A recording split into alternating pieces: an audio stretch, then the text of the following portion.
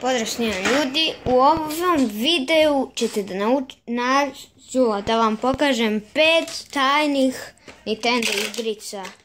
I jedan nije Nintendo, to je Google, ali ima veze sa Nintendo.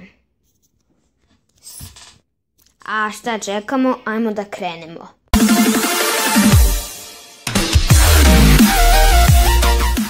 Mario Odyssey 1981.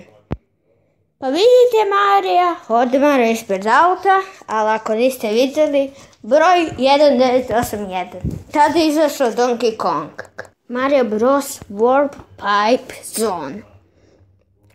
Pa u Mario World Wonders 2 možete da odete u Warp Zone. To je na kraju levela.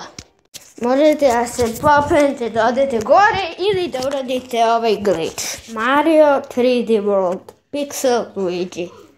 Evo ga jedan Pixel Luigi na mesecu, mislim na lampi. Evo ga Pixel Luigi u pajpu. To je cool. Mario 3D Land Duh. Pa vidite ovdje Mario, a jednoga duh. To je prestrašno. Google. Mario Bros question block.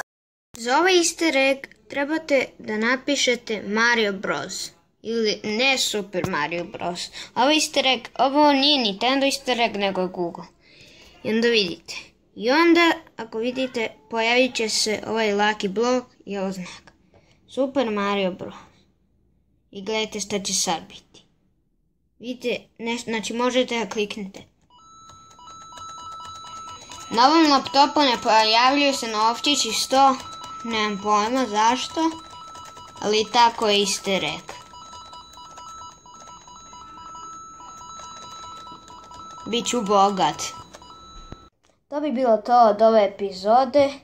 Lajkujte, subscribeujte se na naš kanal i vidimo se u sljedećem videu. Pozdrav!